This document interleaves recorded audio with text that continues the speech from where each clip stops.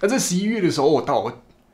那在十一月的时候，我去了第一次的中国，那我去了惠州跟深圳，那真的是还蛮好玩的。那那个影片我也会放在下方链接，有兴趣就看一下。我就去看一下，去规划一下摄影棚，然后去开一个器材摊，因为像一个顾问的角色，反正我们就去开心玩啦，就主要还是开心玩，看看中国的一些嗯文化。那我那个影片看起来是蛮无聊，因为不太敢把一些像是中国他们不太能把。